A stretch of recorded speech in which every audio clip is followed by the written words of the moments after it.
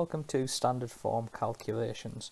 Just before we start, just a reminder that there is a notes jotter available for uh, this topic. Um, if you just want to check the description below for a download link, you can get a worksheet and you can work along with me as we go through the video. So we're going to begin by doing some multiplication of values uh, written in standard form. And basically to do this, um, we're going to break down the questions into two pieces. We're going to break them into the two values which are being uh, multiplied by a power of 10 and then the powers of 10 themselves. And so the first part is that we just need to do 3 times 2. So 3 times 2 would be 6. The times is still going to be in the middle uh, because it's impo an important part of standard form. There is also always a number between 1 and 10 multiplied by 10 to the power of something. The 10 to the power of 5 times 10 to the power of 4. This is where our laws of indices come in.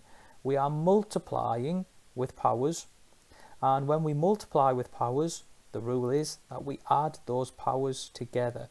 So 10 to the power of 5 times 10 to the power of 4 would give us 10 to the power of 9. And so our answer will be 6 times 10 to the power of 9.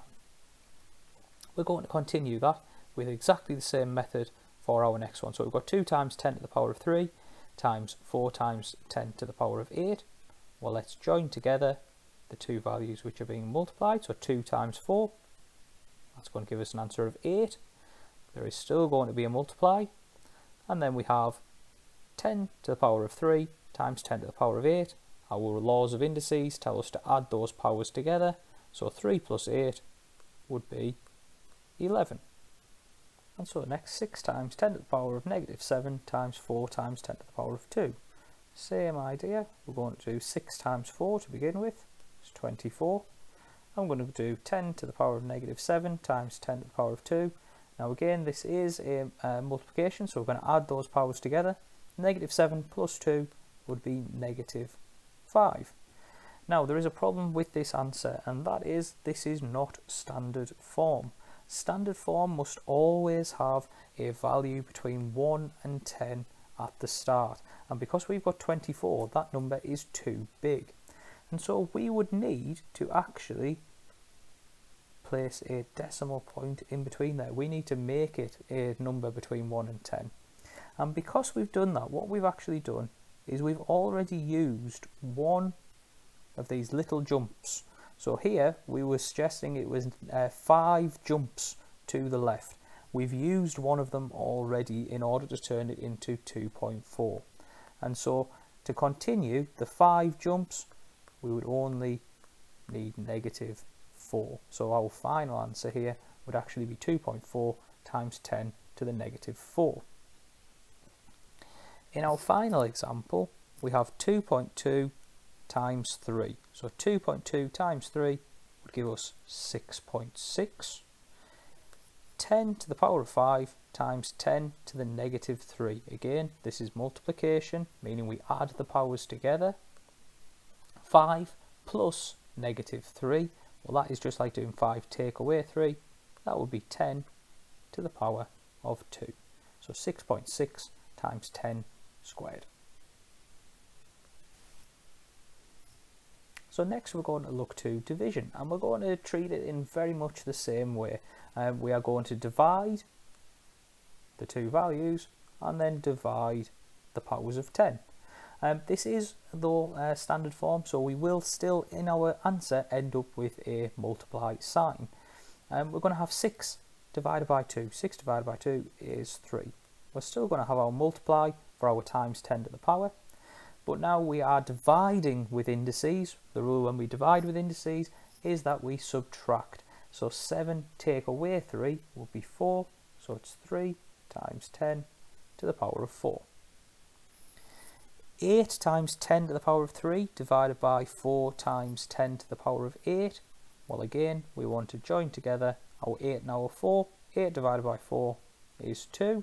still going to be a multiply. And then we have 10 to the power of 3 divided by 10 to the power of 8.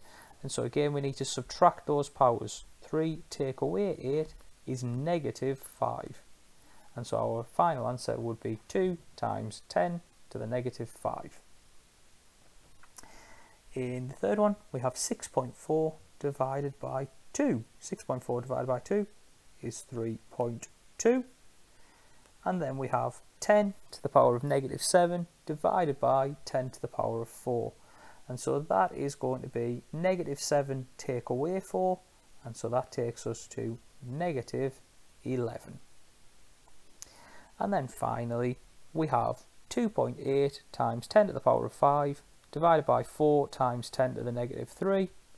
Well, if I divide 2.8 by 4, I get 0 0.7. If I do 10 to the power of 5 divided by 10 to the power of negative 3, well there we have 5 take away negative 3. if we do that, that's the same as adding, so it'll be 10 to the power of 8. Now, again, we have a small problem with this answer. 0.7 is not between 1 and 10. And so we need to make it a number between 1 and 10. The way to do that will be to make this a 7. But that means that we have used one of our jumps to the right. Uh, we were expecting to make 8 jumps to the right based on this, but we've used one of them up. And so we're actually going to have 10 to the power of 7. So now we're going to move on to some calculations which are a little bit more uh, more complicated um, if we want to give our answers in standard form. Um, so we're beginning with a question of 0.003 times uh, 1.2 million. Okay, and um, the idea is we're going to give our answers in standard form. So it would actually be useful if we actually convert them all into standard form to begin with. And so for 0.003, well, if we wanted that as standard form, it would have to be 3 times 10. And then we'd need to think about what the power is that we're using. Well, that would be 1, 2, 3 spaces to the left, so to the power of negative 3. Our um, 1.2 million, again, the 1.2 is a useful value there because that's how we get it between 1 and 10. How many spaces have we moved? 1, 2, 3, 4, 5, 6 spaces to the end so times 10 to the power of 6 and then these two values are being multiplied. And so now we come to the method that we've just been looking at. We want to join together our 3 and our 1.2 if I do 3 times 1.2 I get 3.6 and if I do 10 times uh, 10 to the power of negative 3 times 10 to the power of 6 well that is an addition of the powers. So negative 3 plus 6 would be 10 to the power of 3. And so our final answer will be 3.6 times 10 to the power of 3. In our next question, we have 0.00016 divided by 0.008. Now again, the first thing I want to do is convert these into standard form to start with. So to make this a standard form number, it needs a number between 1 and 10. So it'll be 1.6. And that means 1, 2, 3, 4 spaces to the left, so times 10 to the negative 4. That is being divided by this number 0 0.008, well that would need to be 8, 1, 2, 3, so times 10 to the negative 3. And if we look at this, we've got 1.6 divided by 8. Well, 1.6 divided by 8 is 0 0.2. 10 to the power of negative 4 divided by 10 to the power of negative 3. So that is negative 4 take away negative 3. That is actually 10 to the power of negative 1. But there's a problem with our answer there. That is not standard form. This 0.2 would need to become 2. Now, we are expecting here, because it's a negative 1, that we would move one place to the left. But we've already actually moved a place to the right. And so when it becomes 2, we have to bring both of those jumps together. It will be 2 times 10 to the negative 2. 1.6 times 10 to the negative 2 times 2 times 10 to the power of 8 over 4 times 10 to the power of 5. Now, the reason that this one's a slightly more uh, tricky is that we actually have to con uh, convert the top first and then do the division. And so we need to do 1.6 times 2. So 1.6 times 2 is 3.2. 10 to the power of negative 2 times 10 to the power of 8, well that will be times 10 to the power of 6. And that is being divided by 4 times 10 to the power of 5. So division, we can do it like this as well. We can just treat the first part as the first thing we need to do. So 3.2 divided by 4, well that would be 0 0.8. And then deal with the second part, 10 to the power of 6 time, uh, divided by 10 to the power of 5, well that would be times 10 to the power of 1. Now in this case we can actually do this uh, quite straightforwardly because what is times uh, what is 10 to the power of 1? 10 to the power of 1 is 10. So 0 0.8 times 10, the answer is actually just 8. And finally, 2400 times 0.03 divided by 9000. So again, what I want to do is start by changing these into standard form. So that's going to be 2.4 times 10 to the power of 3 times 3 times 10 to the negative 2 all divided by 9 times 10 cubed. And so then we just need to work through each of those sections.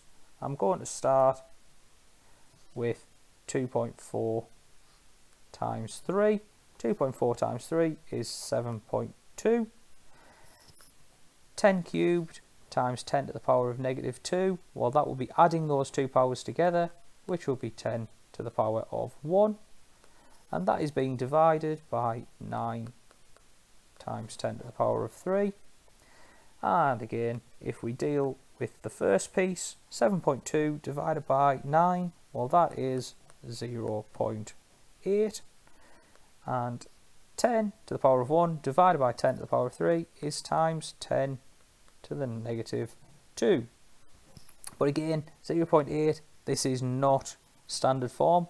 We need to make it standard form. So we were expecting here to go two places to the left, but we have added in an extra loop and therefore that is 8 times 10 to the negative 3. And so we end with our exam question. And this came from the Edexcel paper in November 2017. It was Foundation Paper 1. And it asks us to work out 0.06 times 0.0003 divided by 0.01, giving our answer in standard form.